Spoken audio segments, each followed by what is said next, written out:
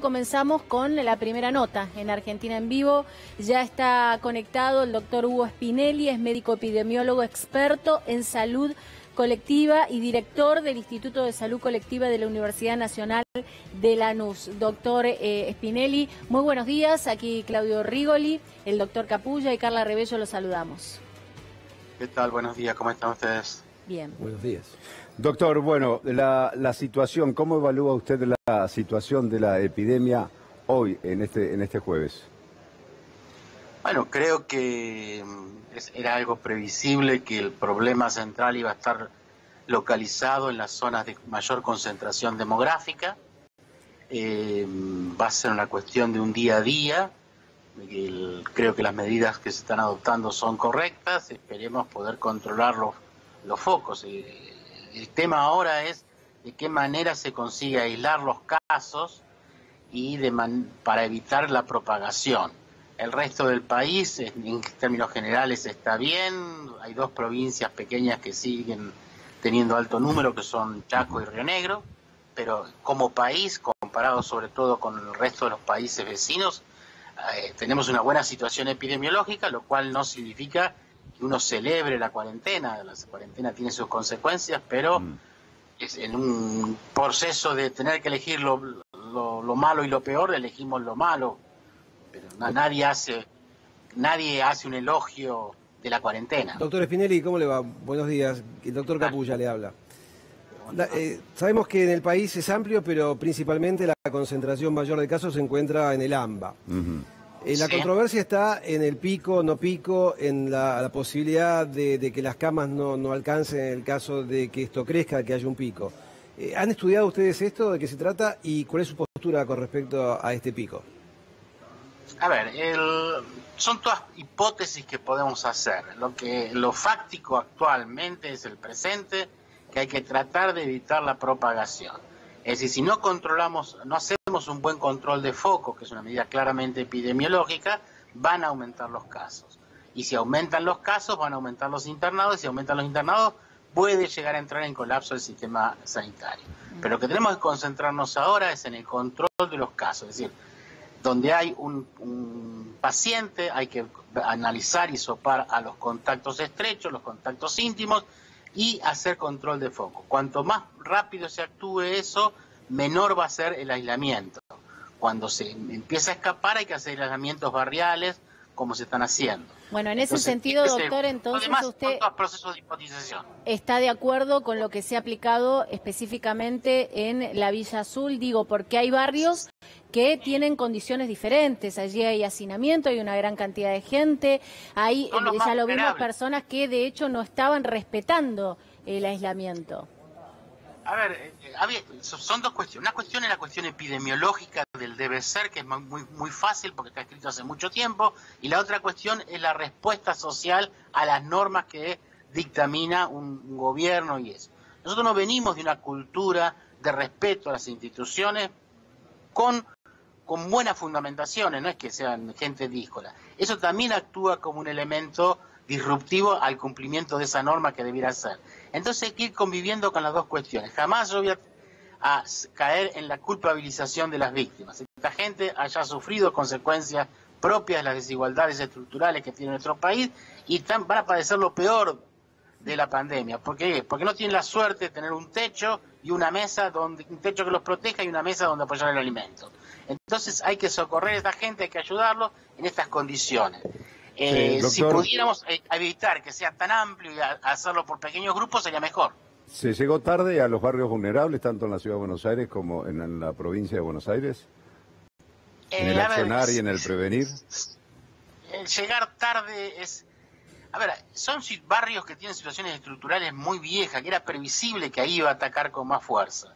Entonces, el, para llegar tarde siempre aparece un caso, es decir, es difícil ver retrospectivamente, hacer análisis contrafácticos es muy fácil, pero eso es para la tribuna. Lo difícil es estar en el día a día tratando de controlar esas situaciones. Indudablemente que se necesita un trabajo de terreno, es decir, hay que estar en terreno viendo los casos rápidamente, aislando sospechosos y trabajando en el control. Lo que pasa es que son dimensiones y cantidad de personas muy grandes. Que le dan una complejidad. Hay otras provincias del país que tienen menores poblaciones y que esto resulta más fácil de administrar.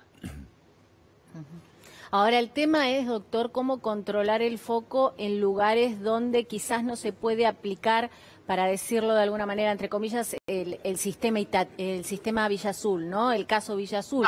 Hay lugares donde poblacionalmente es imposible cercar, eh, digamos, cerrar el acceso y la salida al lugar. Sí, por eso. A ver, es, eh, si uno pudiera detectar el caso, el, un caso, un caso se puede aislar en, en el mismo el lugar que tienen o si no llevarlo a un lugar de aislamiento con el grupo familiar. Ahora, cuando ya son varios casos, se empieza a complicar y entonces termina aislando la villa como la Villa Azul que ustedes relatan. Lo ideal es tener una, una política activa de ir detectando los casos sospechosos y si son, se confirman que son, aislarlos. Eso es para trabajar con pequeños grupos. Indudablemente que en la medida que se escapa el virus va adelante, nos lleva a tener conductas más agresivas de, aislamiento de ese tipo de cosas. Pero es posible de, hacer en la medida que tengamos una rápida alerta epidemiológica de los casos. Doctor, llevamos ya 70 días de cuarentena. ¿Usted ante este escenario ve alguna posibilidad en AMBA de alguna salida inteligente de esta cuarentena o no ve ninguna salida? Eh, no, a ver, hay, sí, va a haber salida, porque es decir, indefectiblemente va a haber salida, porque va a llegar un momento en que el número de, casos va a ser mayor que el número, es decir, de, gente que ya tiene inmunidad adquirida, que la inmunidad no adquirida va a haber que abrirla. Eh, a mí me parece que hay que dejar de especular tanto, hay mucha especulación sobre si la cuarentena es buena o es mala. Creo que es una falsa dicotomía. La cuarentena hoy es necesaria para evitar muertes indudablemente que es una epidemia que no va a matar a toda la población argentina si no hiciéramos nada.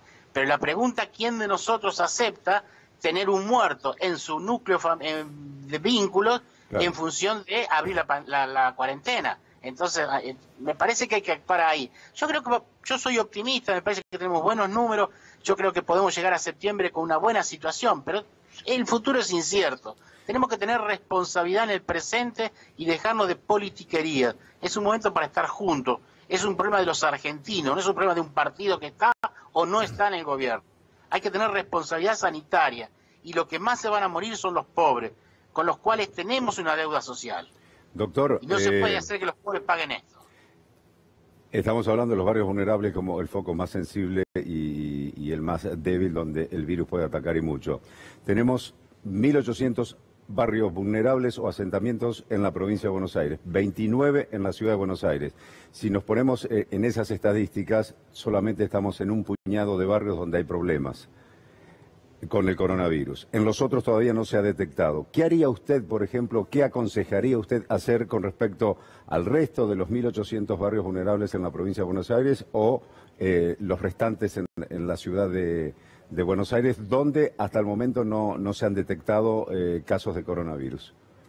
Nada original, hacer las medidas que se vienen diciendo, lavado de manos, eh, mm, aislamiento, distanciamiento, proveerle a esos barrios de agua, proveerles de alimentos si no pueden salir, y dar asistencia social cuando son poblaciones vulnerables, más las normas que se vienen haciendo de cumplimiento que son de prevención. No nos queda más que hacer prevención. El Estado puede hacer promoción vía alimentos, vía cloacas, eh, vía, perdón, agua, agua corriente y asistencia eh, sanitaria cercana, médicos, enfermeros, agentes sanitarios cercanos, trabajando con esa gente, viendo alertas, fiebre y eso para detectar rápidamente el foco. Si en una villa podemos detectar un caso rápidamente, quizás podemos retirarlo de la villa, aislarlo y evitar el contagio. Ahora ahí aparecen las consecuencias sociales la gente no quiere irse a la villa porque tiene miedo con la casa, entonces ahí empieza a complicarse. Lo que tenemos que pensar que el COVID lo que hace es que dispara un proceso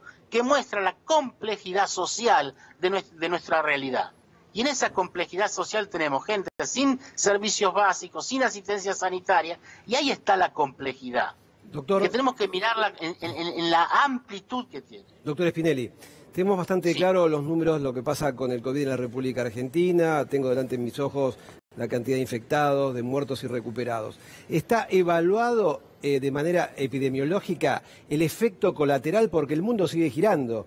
Los pacientes eh, hipertensos siguen siendo hipertensos, los diabéticos siguen siendo diabéticos, ACV sigue habiendo, infarto sigue habiendo, la gente ha dejado de controlarse, tiene mucho miedo a ir a centros hospitalarios. ¿Está cuantificado esto o se piensa hacer algún estudio de qué es lo que ha pasado, el daño colateral que ha provocado el COVID y que va a provocar? A ver, ese es un problema que tenemos, yo he escrito a propósito de eso, es decir, el no COVID. Es decir, el no COVID está generando problemas en el sentido de que hemos destinado el aparato sanitario al COVID y la otra no. Ahora, entonces, eso también es parte de la complejidad. Porque hasta ahora veníamos, por ejemplo, sacando estas últimas semanas con la explosión de casos en Cava y, Gran Buenos Aires, podíamos empezar a pensar que el, sistema sanitario diera cuenta del no COVID. Ahora, en Cava y en Gran Buenos Aires vuelve a complejizarse esta cuestión, porque además de tener dos problemas, lo que se está haciendo es, en muchos lados, es rotación de personal para evitar el contagio en los trabajadores de la salud, con lo cual disminuye el número de trabajadores. Entonces tenemos un escenario muy complejo, disminuye el número de trabajadores. Parte de los establecimientos están destinados al COVID, con lo cual disminuye la disponibilidad de quirófano, consultorio, más la posibilidad de que tenemos de las condiciones de, pobreza y eso. Entonces es un, es un problema muy complejo que no estábamos acostumbrados y que indudablemente va a tener problemas que se van a agravar. Los crónicos, cirugías postergadas, estamos retrasando algunas cuestiones de oncológicos, infartos. Por otro lado tenemos cosas buenas, seguramente que van a disminuir los accidentes de automóviles. Bueno, esa complejidad la vamos a poder ver qué sucedió dentro de dos años cuando tengamos las estadísticas vitales del país. Ya hay información, si uno habla con trabajadores de distintos lugares, de distintos del país, eh, lo que notifican es esa cuestión de los crónicos, las cuestiones del encierro en los depresivos, los chicos autistas que necesitan salir. Bueno, esa complejidad no se resuelve con blanco y negro. Es decir, tenemos que aprender a pensar en términos de esa complejidad. Por lo tanto,